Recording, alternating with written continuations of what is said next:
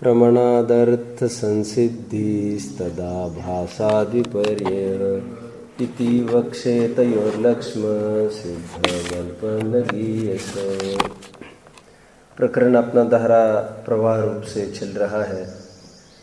जिसकी विषय वस्तु यह है कि जैन आचार्य अन्य मति को ये कहते हैं कि अनुमान के अंगों में उदाहरण की आवश्यकता बिल्कुल भी नहीं है। एकमात्र हेतु ही साध्य की सिद्धि करने के लिए समर्थ है। इसलिए साध्य और हेतु ये ही दो अंग है, अथवा पक्ष और हेतु, अथवा प्रतिज्ञा और हेतु। ये ही दो अंग है, उदाहरण की आवश्यकता नहीं है। और जब उसने बहुत ही आग्रह रखा कि उदाहरण को भी अनुमान का अंग कहा जाना चाहिए। मुक्ति समझ में आ रहा है विषय पूरे जो मैं कह रहा हूँ? क्या विषय चला सुन रही थी बाहर से? आचार्य देव ने क्या कहा अनुमान वाक्य के कितने अंग होने चाहिए? ठीक है। अथवा प्रतिज्ञा हेतु, अथवा साध्य हेतु, अन्य कोई अंग नहीं होना चाहिए। शंकाकार की निरंतर ये शंका चल रही है। क्या कहना है उसका? उदाहरण को भी आप अनुमान वाक्य का अंग बनाओ। इसके पूर्व उसकी दूसरी समस्या थी, उसका ये कहना था, हेतु से ही अलग से सिद्धि होती है, पक्ष होना हो क्या फ़र्क पड़ता है? आधार। तो उसका निराकरण वहाँ पर किया था, पक्ष तो होना ज़रूरी है, ज्ञान कराता है विशेष रूप से। और अभी प्रकरण ये है, उदाहरण की आवश्यकता होनी चाहिए, ऐसे शंकाकार का कहना है। आचार्य देव ने उसके सामने तीन विकल्प रखे थे। वे कौन कौन से विकल्प थे? यदि तुम कहते हो कि H you may come here my dear you both the guys come here पर कम कम और एक चौकी लो, बैठो, बढ़िया अच्छा फ्रेश मूड रखो तुम। तुम्हारा कल्याण होगा। कहा तक आए? तीन बातें आचार्य ने उनको पूछी थी कि उदाहरण की आवश्यकता आखिर लगती है तो क्यों लगती है?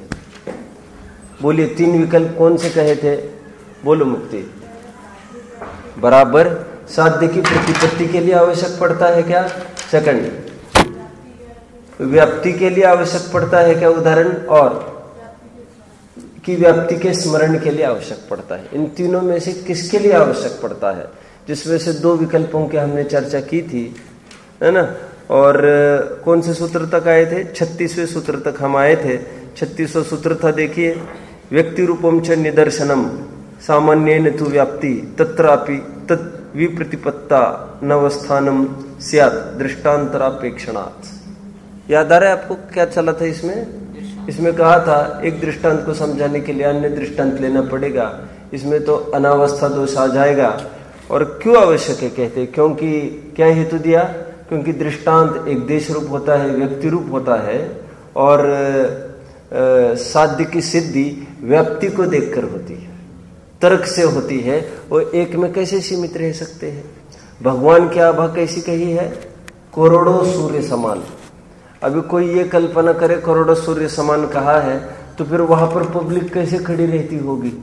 इतनी नजदीकी में। तो फिर उसको और एक उदाहरण देकर समझाना पड़ेगा। क्या समझाना पड़ेगा? वो हीट की अपेक्षा नहीं है हमने उदाहरण दिया। वो हमने उदाहरण आभा मंडल की अपेक्षा दिया। तो फिर ऐसा भी हो सकता है कि क्या आभा हो और हीट ना हो, उसके लिए कुछ नया एग्ज़ाम्पल और देना पड़ेगा। और उस एग्ज़ाम्पल में भी दूषण आएगा तो और एग्ज़ाम्पल देना पड़ेगा। ऐसे बहुत अनावस्था दोष गिर जाएगा। इसलिए बोलिए, इसलिए दूसरे विकल्प का खंडन यहाँ से हुआ था कि व्याप्ति के ज्ञान के लिए भी उदाहरण की आवश्यकता नहीं है। अभी तीसरे पक्ष की अपन चर्चा करते हैं कि व्याप्ति के स्मरण के लिए भी उदाहरण की आवश्यकता नहीं है। तो बात को पूरी करो आचार्यों के। तो आचार्य क्या कहेंगे फिर? बोलिए, आचार्य क्या कहेंगे? बोलो मनन। तो आगे बात करो ना फिर, पूरी। तो तो चिन्मय, बोलो। तो बोलो आदित्य। तो बोलो, कोई भी बोलो। हर्षिल बोलो। उदाहरण की आवश्यकता नहीं है। व्याप्ति के स्मरण के लिए भी। तो व्याप्ति का स्मरण, बोलो, एकमात्र हेतु से हो जाता है। एकमात्र हेतु ही सब जगह समर्थ है, कह रहे। और जिसको सिद्ध कर रहे वो साध्य साध्य को तो अंग बोल ही रहे हैं, उसका आधारभूत पक्ष भी बोल ही रहे हैं, बल्कि पक्ष को और साध्य को एक अभिन्न देख कर ही उसको प्रतिज्ञा बोलते हैं। तो कहने की बात यह है कि अकेला हेतु ही समर्थ है सब करने के लिए। उसके लिए इन उदाहरणों की आवश्यकता नहीं है। देखिए, सूत्र पढ़ते हैं, जिसका अर्थ अभी अभी हमने देखा। सूत्र पढ़िए, मुक्ति, बेटा पढ़ो।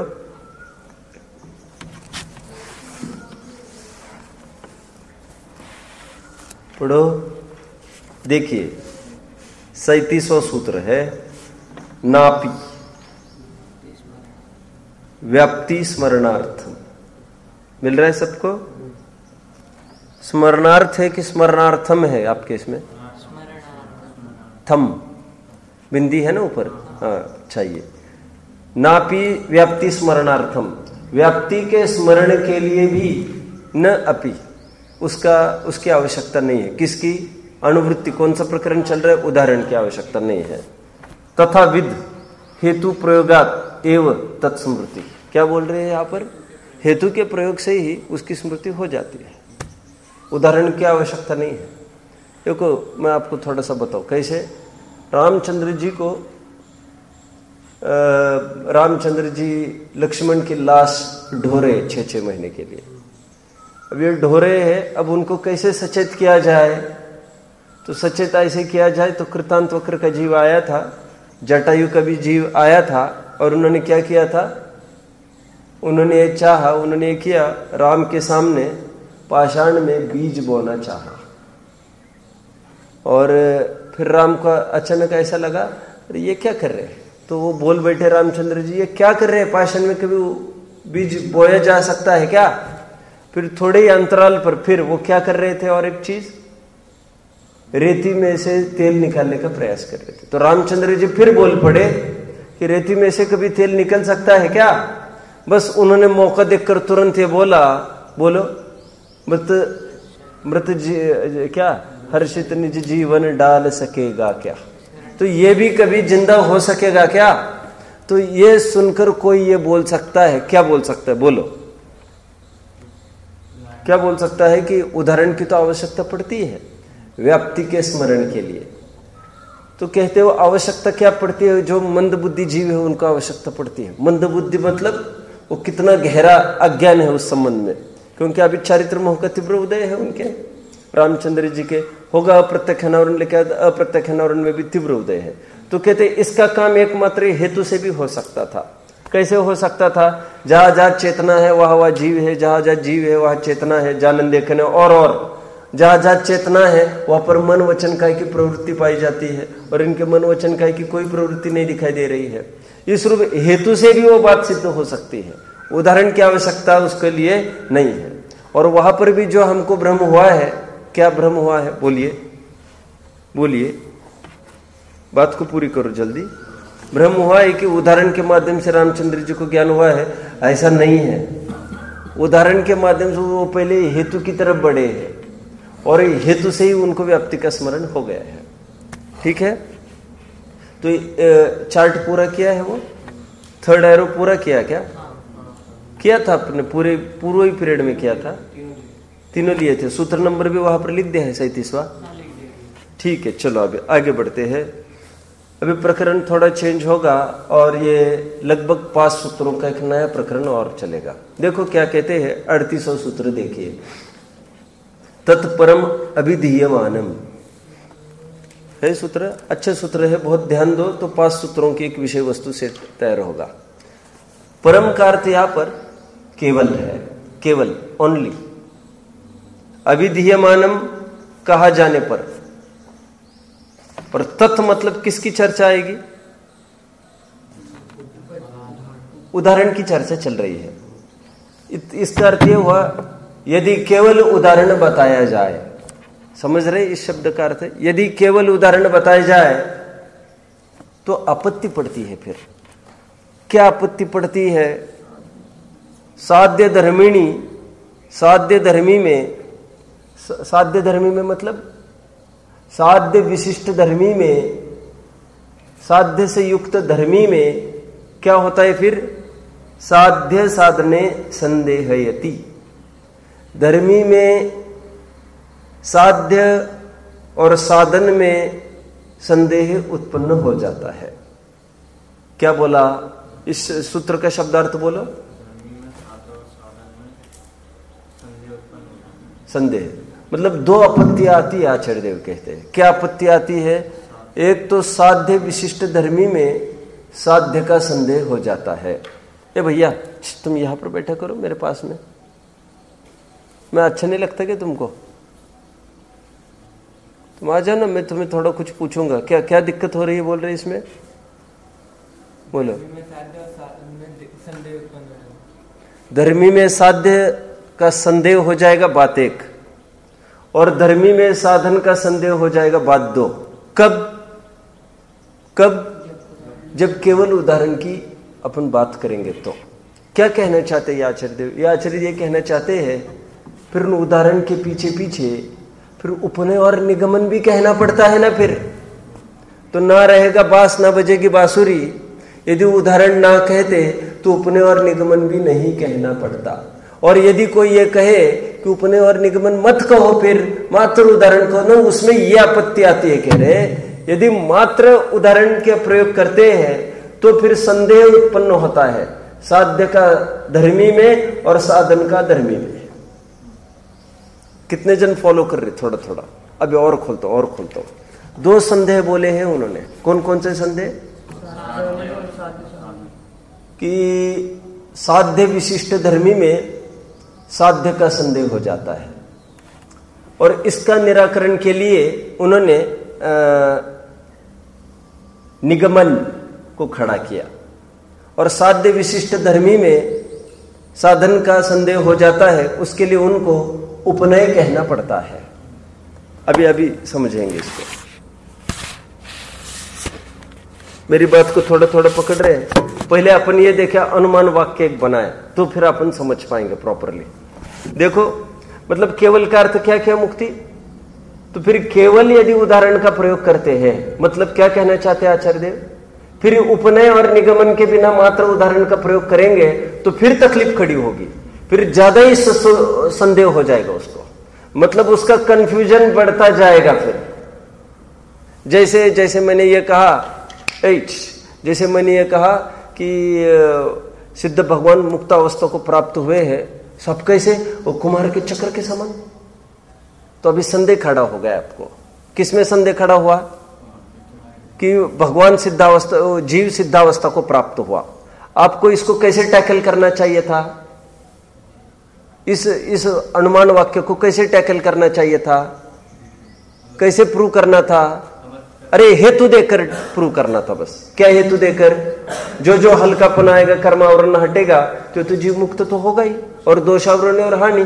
बस एक अतिशायन एक हेतु देकर तुमको टैकल करना था। तुमने क्या किया आगे? चक्रवत, या अंबु, लेपा अंबुवत और अविद्य चक्र को लालवत ऐसे आपने दो उदाहरण दिए। अभी संदेह खड़ा हो गया उसको। क्या संदेह खड़ा हुआ? ये जो चक्र का उदाहरण दिया वो मतलब तो उसको ये बताना पड़ेगा, जैसे वो चक्र पूर्व संस्कार से दंडा हटाने पर भी घूमता है ना, वैसे ही पूर्व में संस्कार पड़ा था ना, मुझे मेरा कल्याण करना, उस संस्कार के बल पर बराबर आज भी मोक्ष में है, वो ऊपर से नीचे नहीं आते। तो ऐसा जो उदाहरण स्पष्टीकरण करना पड़ा व्हाट इज़ दैट कॉल्ड उपनय वेरी नाइस तो कह रहे, फिर उसको उपनय भी बोलना पड़ेगा। तो फिर केवल उदाहरण से काम नहीं चलेगा फिर। क्योंकि जैसे अविद्य कुलाल चक्रवत बोल दिया आपने तो वो तो कुछ ही नहीं समझता ना ये कुमार के और के कौन सा चक्र की बात कर रहे हैं आप। और चक्रवत मतलब घर पे रखे नहीं, वो जो ऐसे घूमता है ना, वो दंड हटाते ना अच्छा अच्छा अच्छा अच्छा। तो उदाहरण आपको उसको, उनको खोलना पड़ा मतलब आपको उपनय का सहारा लेना पड़ेगा। और फिर उदाहरण, और ऐसा होता है ना, जैसे ये उदाहरण में ऐसा हुआ ना, ठीक उसी प्रकार वहाँ पर भी सिद्धों में पूर्व संस्कारवत पूर्व संस्कार से ऐसा पाया जाता है। ये क्या हुआ? ये निगमन हुआ। निगमन में क्या होता है? जो सिद्ध करना था टू प्रूव क्या? कि कोई सिद्ध हो सकता है। तो फिर जो साध्य है, उसको भी एलेबोरेट करना पड़ेगा। एलेबोरेट को क्या कहते हैं आप लोग? खोलना कहेंगे क्या उसको? चलेगा क्या? तो जय, उपनय तो एक उदाहरण को ही फिर से खोलना पड़ा। धर्मी में साध्य किसने खोला? निगमन ने निगमन ने।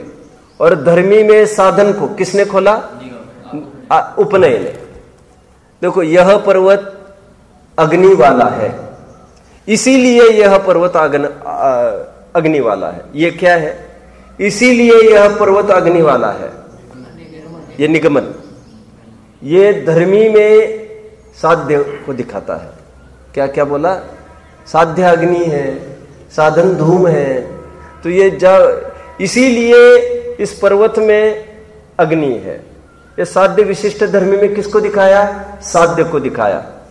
तो ये कहना पड़ेगा फिर आपको, नहीं तो फिर संदेह उत्पन्न होएगा। अकेला उदाहरण कहेंगे तो। एक, और फिर क्या क्या कहना पड़ेगा? हेतु मात्र क्या दिया था? धूम होने से। और उपनय अभी क्या देना पड़ेगा? जिस प्रकार पर्वत पे धूम है ये उपनय हो गया। आप सब समझ रहे हैं? बस हा? उपनय मतलब उस, बस उ, उसी को खोल दिया। किसको खोल दिया? वो साधन को खोल दिया। कि जैसे इस पर्वत पर धूम है बस। और इस पर्वत पर अग्नि है इसीलिए इस पर्वत पर अग्नि है ये तो निगमन। और इस पर्वत पर धूम है, ये हो गए उपनय। तो ये दोनों कहना पड़ेगा फिर कह रहे यदि उदाहरण लेते हो तो। और नहीं तो फिर सीधा इतना ही बोलो, जहाँ जहाँ अग्नि है, वहाँ वहाँ धुआँ है, और जहाँ जहाँ जहाँ धुआँ है, वहाँ वहाँ अग्नि है, जहाँ अग्नि नहीं, वहाँ धुआँ नहीं। तो अग्नि को देखकर धुएँ का ज्ञान हुआ, बस। अभी जैसे ताला, जैसे आप रसोई घर बोले तो तकलीफ़ क्या खड़ी होगी? उसको फिर यह समझाना पड़ेगा, जिस प्रकार रसोई घर में धुआँ देखा जाता है, तब अग्नि वहाँ पर पाई जाती है। ठीक उसी प्रकार, यहाँ पर भी धुआँ होता है तो धुएँ की भी बात यहाँ करनी पड़ेगी, और अग्नि की भी बात फिर करनी पड़ेगी। यह केवल उदाहरण लिया, इसलिए करना पड़ा। कितने जन बात को समझ रहे हैं? बस, ये थीम है इसकी। देखो, अभी आगे बढ़ो। ये अड़तीसवें सूत्र पढ़ना है हमको ये सूत्र। देखिए अड़तीसवें सूत्र पढ़ना है। तत्परम अभिधीयमानम। क्या अर्थ क्या इस शब्द का? समय बोलना। तत्परम अभिधीयमानम।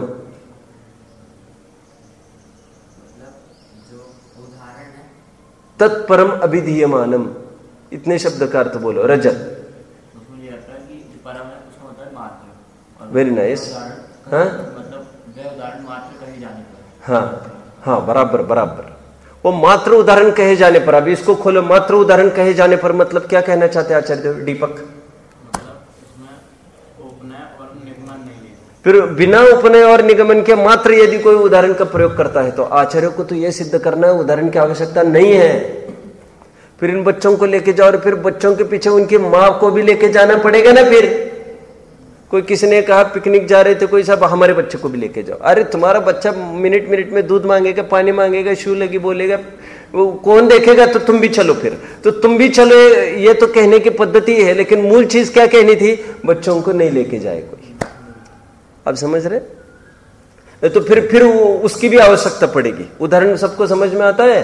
फिर इनकी सेवा में और लगाना पड़ेगा तो उदाहरण देंगे तो उपनय और निगमन भी कहना पड़ेगा तो उदाहरण कोई अंग नहीं है। और अन्य अन्य उदाहरण तो समझाने पड़ेंगे दूसरी बात, लेकिन मूल फिर स्पष्ट करना पड़ेगा उपनय और निगमन के द्वारा। अभी आगे का सूत्र देखिए। नहीं, इसको, साध्य धर्मिणी, साध्य साधनी संदेह यदि इसका क्या अर्थ क्या? साध्य धर्मिणी, साध्य साधने संदेह यति क्या अर्थ किया था इसका? नो जिनवानी नो जिनवानी अब कुछ लेके बैठा करो ना, चौकी लेके बैठा करो थोड़ा सा। क्या कहा, उसका अर्थ क्या किया? अर्पित है नहीं है स्कूल में कैसा है अच्छा है? एबिलिटी का बच्चा है क्या? नहीं है। बोलो। क्या अर्थ किया इसका? साध्य धर्मिणी, साध्य साधने संदेह साध्य धर्मी में साध्य और साधन का संदेह उत्पन्न होता है। कब? यदि उपनय और निगमन के बिना मात्र उदाहरण डालते हैं तो। इसीलिए उदाहरण अंग नहीं हो सकता। फिर समझाना पड़ेगा खूब उसको। आगे बढ़ते इसलिए क्या करो आचार्य देव कहते हैं, इसलिए बोलो, एकमात्र हेतु से काम चलता है। नहीं, वो तो बात है, इसलिए उदाहरण को हटा दो। इसलिए हेतु से काम चलता है। इसीलिए, आगे और बोलो, इसीलिए, इसलिए अनुमान वाक्य के बोलिए, दो ही अंग है बस। आगे बढ़ो आगे बढ़ो। उनतालीसों सूत्र चलेगा क्या? हाँ? उनतालीसों सूत्र चलेगा मनन? बहुत सरल है, देखो। कुतः, कुतो अन्यथो उपनय निगमने। कुतः संधि विच्छेद। कुतः अन्यथा उपनय निगमने। हम्म। क्या अर्थ है इसका? कुतो अन्यथा तो देखो इसको, अन्यथा तो उपनय और निगमन का प्रयोग क्यों किया जाता? का प्रयोग ये आपको लगाना है। आपको लगाना है इसका। क्या क्या बोला मैंने?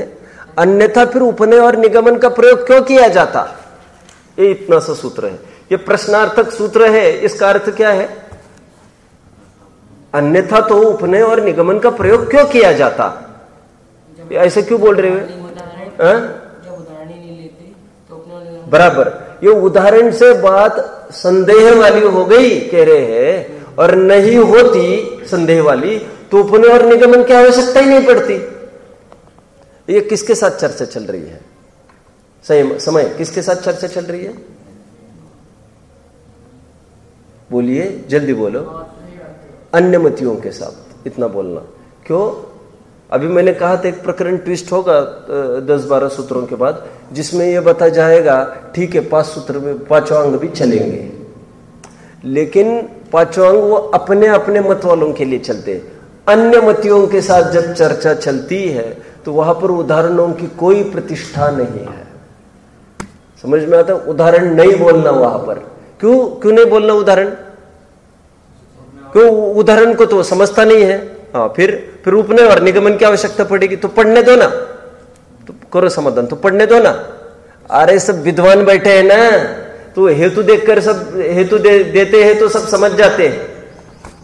इजी हेतु देते हैं तो सब समझ जाते हैं। तो इसको काय के लिए लंबा नहीं इतना? विद्वानों की सभा में नई टाइम है किसी को। ना आवश्यकता है किसी को। ये सूत्र एक हुआ। उनतालीसवा सूत्र हुआ। क्या अर्थ किया मुक्ति इसका? कुतः मतलब? कुतः? कुतः? कुतः? क्यों? अन्यथा क्यों आवश्यकता पड़ती? आवश्यकता पड़ती, ये अपुण्य लगा दिया। वैसे शाब्दिक अर्थ क्या बनेगा? अन्यथा क्यों? उपनय और निगमन। का प्रयोग करना पड़ता? आवश्यकता पड़ती।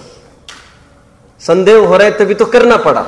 उदाहरण, संदेह खड़ा करता है और तकलीफ़ खड़ा करता है, कह रहे हटा दो उदाहरण को, समस्या खड़ी करता है। आगे बढ़ो।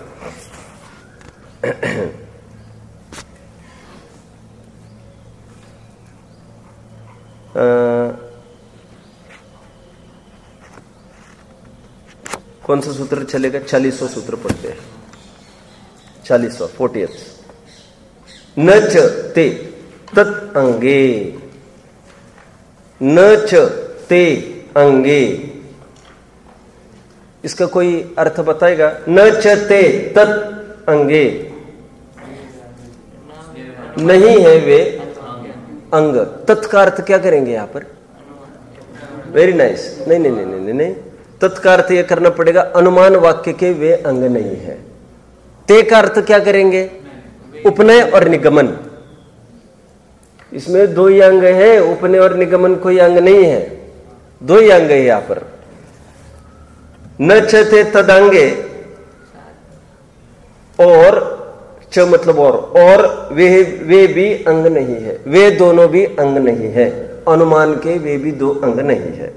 साध्य धर्मिणी, हेतु साध्य यो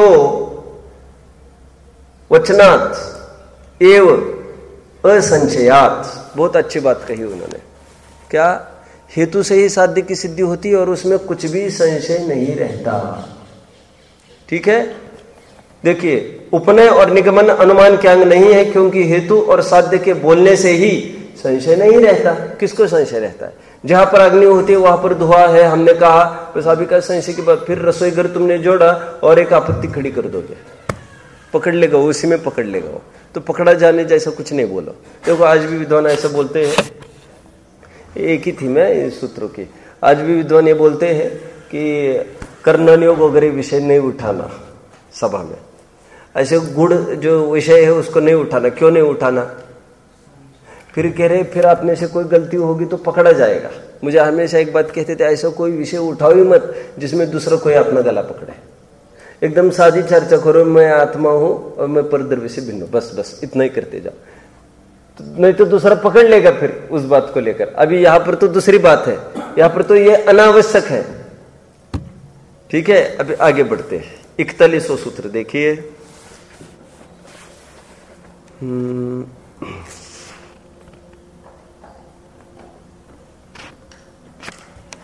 इसको विजिगिशु कथा कहते हैं। विजिगिशु मैंने आपको बोला था देखो, एक वितराग कथा होती है कि विजिगिशु कथा होती है। वितराग कथा में पाँच अंग स्वीकार किए गए हैं और ये जितना प्रकरण चल रहा है, ये विजिगिशु कथा का चल रहा है। इन कथाओं में पाँच अंग नहीं होकर दो ही अंग होते हैं। मैंने आपको पता ही था, विजि गिशु कथा, ये जिसमें हार जीत की मुख्यता होती है, उसको विजि गिशु कथा कहते हैं। और जिसमें हार जीत की मुख्यता न होकर, जिसमें एक वितरागता के पोषण के लिए, वस्तु समझने के लिए कुछ बात होती है, वो वितरागता की कथा। विजिगिशु कथा मतलब हर जित का फैसला किसके साथ होता है वो? सोमत परमत में ये सब होता है। तो उनमें ये अंग नहीं दिए जाते। आप सब समझ रहे हर्षिल, क्या बोला? बोलो। कौन सी कथा बोल रहा हूँ मैं उसको? वेरी नाइस विजिगिशु कथा। उसमें ही दो, उसमें दो अंगों का ही प्रयोग होता है। बाकी तीन अंगों की उसमें आवश्यकता नहीं होती। चलो, देखिए, समर्थम व, समर्थनम व, वरम। हेतु रूपम अनुमान अवयवो वास्तु साध्य व, अस्तु, ऐसा करना पड़ेगा। व, अस्तु, साध्य, तत् उपयोगात। समर्थनम व वरम, क्या अर्थ है इसका? वरम मतलब क्या होता है? वरम वरम, श्रेष्ठ। समर्थनम वरम, श्रेष्ठ है और इसलिए समर्थ है। कौन कौन समर्थ है? हेतु। हेतु हेतु रूपम। काय के लिए समर्थ है? अनुमान अवयव। हेतु ही समर्थ है। हेतु ही श्रेष्ठ है। इसलिए वही अनुमान कांग है। और साध्य की सिद्धि करने साध्य तो है ही। अनुमान का अंग है। और हेतु रूपम अनुमान अवयवो वा अस्तु साध्य तद उपयोगात साध्य की सिद्धि करने के लिए उसी का उपयोग होता है। उसी से काम निकल जाता है। और श्रेष्ठ और समर्थ कारण है साध्य की सिद्धि करने के लिए। अपन सूत्रार्थ थोड़ा देखते हैं इसका। देखिए, समर्थन ही हेतु का वास्तविक स्वरूप है। क्या बोल रही है? क्या मतलब है इसका? समर्थन ही हेतु का वास्तविक स्वरूप है मतलब क्या? समर्थन ही हेतु का वास्तविक स्वरूप है मतलब क्या? हाँ मतलब हेतु ये नियामक मतलब इसमें कोई चिंता नहीं करना। हेतु आपने प्रयोग किया है तो बस वो समर्थ है, वो सिद्ध ही करेगा साध्य को। ये यहाँ पर कह रहे समर्थन ही हेतु का वास्तविक स्वरूप है। हेतु उसी को कहते हैं जो समर्थ हो, सिद्ध करने के लिए। आगे। अतः वही अनुमान का अवयव माना जाए। क्योंकि साध्य की सिद्धि में उसी का उपयोग होता है, बस। वही अकेला समर्थ है दूसरे के उदाहरणों की क्या आवश्यकता है? देखो, सीता निर्दोष है, ये सिद्ध करना है। सामने वाला क्या बोल रहे बोलो। ऐ, समय। सीता निर्दोष है, यह सिद्ध करना है। सामने वाला क्या बोल रहा है? बोलो। अब तो क्या क्या समस्या हो सकती है इसमें? सीता के निर्दोषता पर प्रश्न चिन्ह खड़ा है, कोर्ट भरा है, क्या दिक्कत हो सकती है? कोई सामने आने वाला क्या कह सकता है? बोलो। ये कह सकता है, सीता सदोष है। जैसे वो धोबन, कि क्या है बात धोबन की? देखो, अभी वो एकदम प्रकरण को छोड़कर वो उदाहरण की तरफ़ ले जाएगा आपको। क्या बात है धोबन की? सब ये है पूरे फोटोग्राफ्स। ये दोहबन उसके यहाँ रह कर आई और ये कुशील सेवन करने वाली है। बस ये देर पर देर पर और प्रूव क्या करने बैठा है ये? सीता सदोष है, ऐसा बोल रहे वो। और पूरे उदाहरण और पूरे प्रूफ दोहबन के दे रहा है। तो ये तकलीफ़ इसमें खड़ी होगी, मूल विषय से चुका कर वो अन्य विषय की तरफ़ ले जाएगा, विषयांतर करेगा। जिसको बहुत अच्छे से मैं कहूँ जैनेतर ये मानते हैं, सीता का अपहरण करने के लिए रावण आया था। उसने स्वर्ण मृग का भेष बनाया था। अब जानते हैं सब? स्वर्ण मृग का। और वो सोने का मृग ऐसा दिखा, वो राम को ऐसा लगा, ये सीता के लिए मैं लेके आऊ पकड़ के। बस उसके पीछे चला गया, बस वो डाइवर्ट किया रावण ने उसको, फिर वो दौड़ता गया, राम उसके पीछे पीछे। तो वो उदाहरण कोई ऐसा खड़ा करके और डाइवर्ट होगा विषय। और धोबन में भले आप सिद्ध करके दिखाओ, उसका कुशलित्व, लेकिन उससे इसका कैसे होगा? तुम तो यह सिद्ध करो हेतु के रूप में, क्या? क्या हेतु देना पड़ेगा? अभी तो सचमुच सदोष तो थी नहीं। तो फिर ये कहना पड़ेगा, नहीं साहब, वो निर्दोष थी। तो वो क्या हेतु दे सकता है? हेतु मतलब हेत्वाभास क्या दे सकता है? साहब, वो छह महीने उनके आ रहे जहाँ जहाँ रावण था, वहाँ वहाँ हमने इसको देखा। जहाँ जहाँ इसको देखा, वहाँ वहाँ रावण को देखा। तो उसको कहेंगे, देख, तू जिसको हेतु कह रहे वो हेत्वाभास है। क्योंकि जहाँ जहाँ ये हो, वहाँ वहाँ वो हो, ऐसा तो नहीं हो सकता। क्यों नहीं हो सकता? क्योंकि बाप बेटी भी तो एक घर में रहते हैं। दूसरी बात, फिर वीडियो कैमरा लाओ। दिखाओ, कह रहे, देखो साहब, जहाँ पर राम, रावण है, वहीं पर सीता है। तो कहते, देखो। तो कह रहे, सीता की शक्ल देखो। जब जब रावण जाता सीता की शक्ल देखो। वो बोले, उसकी आँखों में भी नहीं देख रही है और नीचे देख रही है, आँसू ढुलका रही है। और और थोड़ा सा कैमरा लगा और सुनने की क्षमता हो तो देखो, सुनो, क्या बोल रही है? तो वो यही कह रही है, मैंने तो स्वप्न में एक राम को ही चाहा है। बस हो गया प्रूव क्या प्रूव कर दिया? ये हेत्वाभास है तुम्हारा और तुम धोबन की तो बात ही मत करो। सीता की सदोषता निर्दोषता की बात करनी हो तो इसी संबंध में बात करो तुम। समझ में आता है? फिर उदाहरण में फिर जिस प्रकार, क्यों धोबन का क्या हुआ था सब? जिस प्रकार, तुम्हें नहीं पता? फिर धोबन भाग कर गई थी, फिर एक तो उसमें भी खिंच जाएगा। और और फिर धोबन से इसका क्या लेना देना? ऐसा। आगे का सूत्र चलेगा। इकतालीसवें सूत्र में हमने क्या देखा? अर्पित, इकतालीसवें सूत्र में क्या देखा? जल्दी बोलो। इकतालीसवें सूत्र में हमने क्या देखा? इकतालीसवें सूत्र में क्या देखा? आप भी बोल सकते हैं। बराबर। उसमें कहा, समर्थ ये हेतु का स्वरूप है। समर्थपना ये हेतु के स्वरूप में मिला है। इसलिए साध्य की सिद्धि करने के लिए, बोलो। हेतु एक अकेले इनफ है। और तो उलझन खड़ी होती है। आगे सूत्र चलते हैं। अभी थोड़ा मैंने कहा था, प्रकरण थोड़ा चेंज होगा। आपने कितने सूत्र देखे? अपने अड़तीस उनतालीस चालीस इकतालीस। ये चार सूत्रों की विषय वस्तु। थोड़ी सी एक प्रकार से आ, नहीं सैतीसवा भी सूत्र देखा ना आज अपन ने सैतीसवा। तो ये एक सैतीसवें तक तो प्रकरण अलग था और अड़तीसवें से लेकर इकतालीसवें तक का प्रकरण किसकी सिद्धि करने के लिए था? वो उदाहरण यदि लेते हैं तो फिर वो उपनय निगमन भी लेना पड़ेगा और हेतु अकेला समर्थ है। समर्थ उसका रूप, उसके रूप में ही समर्थपना बैठा है। वैसे उसको हेतु क्यों कहते? बयालीसवें सूत्र की तरफ़ आते हैं। देखिए क्या कहते हैं। यहाँ से प्रकरण थोड़ा फिर बदल जाएगा। अब एक ही सूत्र लेते हैं। बयालीसवें सूत्र लेते हैं। सूत्र कौन पढ़ेगा? अर्पित पढ़ो सूत्र। अच्छे से पढ़ो, अच्छे से पढ़ो।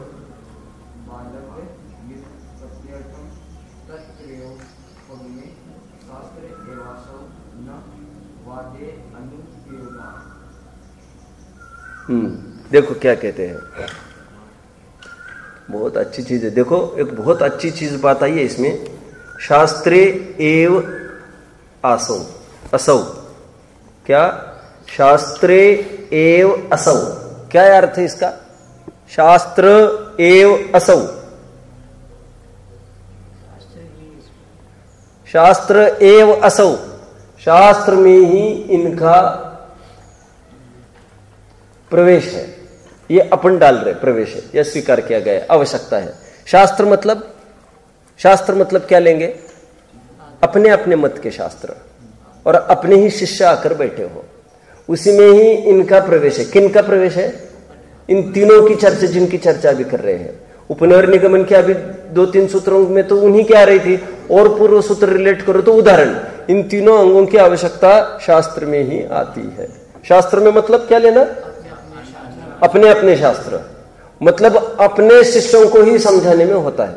चेला चेला गुरु जब भी होंगे, तभी ये अंग दिए जाएँगे। ये कह रहे आगे क्या कह रहे देखो न नहीं, वादे। वाद में अनुपयोगात ये वाद में इनका प्रयोग नहीं होता, वे वहाँ पर अनुपयोगी सिद्ध होते हैं। आ रहे ना? वही प्रकरण जो अपन चर्चा करते आए हैं। क्या कहते फिर कहाँ पर प्रयोग होता है वो? बाल व्युत्पत्त्यर्थ। व्युत्पत्त्यर्थ ज्ञान कराने के लिए। व्युत्पत्ति मतलब प्रतिपत्ति प्रतिपत्ति। ज्ञान। अर्थ ज्ञान करने के लिए। किसको? बाल। मंद बुद्धि जीवों को। और वो भी जैनेतर नहीं जैनेतर नहीं, क्योंकि जैनेतर तो खंडन करने के लिए आया है। इसलिए यहाँ पर कह रहे, वाद में नहीं। हाँ कोई जैनेतर यदि लगन बुद्धि से आए समझने को तो कदाचित उसको भी बाल में ले सकते ऐसी कोई बात नहीं है उसमें। बाल व्युत्पत्त्यर्थम तत्त्रयोपगमे तत्त्रयोपगमे तत् उन तीन उपगमे। यहाँ पर उपगम का अर्थ क्या लेंगे? निगमन और उपनय का मिलकर उपगम कुछ होगा क्या? उपगम मतलब स्वीकारना स्वीकारना। तो यहाँ पर क्या अर्थ होगा उसको? हाँ ज्ञान। ज्ञान के अर्थ में लिया है यहाँ पर। उपगम मतलब गम। गम धातु ज्ञान के अर्थ में। ऐसा, स्वीकारना। तुम, अर्थ क्या हुआ इस सूत्र का? आदित्य। सूत्र का अर्थ बोलो।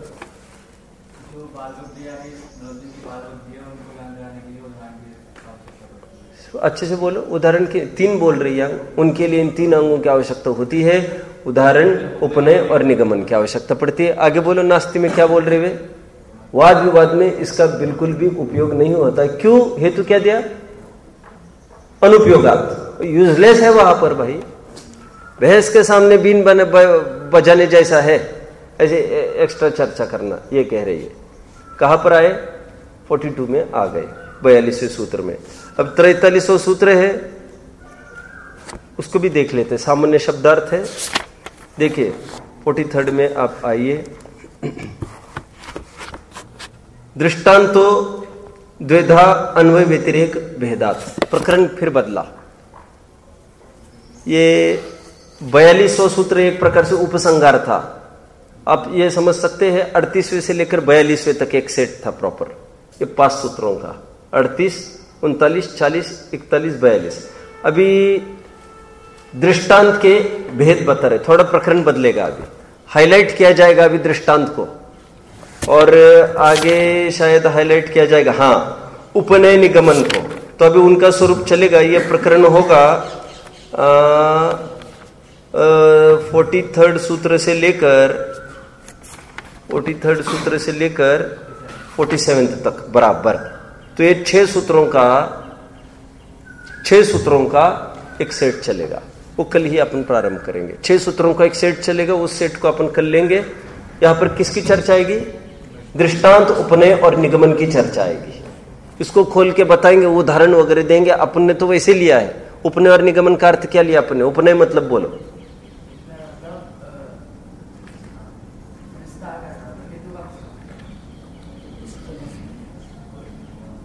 ठीक है आपका कहना। उसको कहना, साध्य धर्मी में साधन को खोल के बताना। साधन मतलब ही हेतु, ठीक है ये। लेकिन यहाँ पर ऐसी परिभाषा आप बताएँगे कल। और निगमन में क्या बताएँगे? साध्य धर्मी में, साध्य विशिष्ट धर्मी में, बोलो, साध्य का होना। उसको खोल कर दिखाए इसको निगमन कहते हैं। बेटा, समझ रही हो मुक्ति? भारी पड़ रहा है? हाँ ठीक है। देखेंगे कल। ओम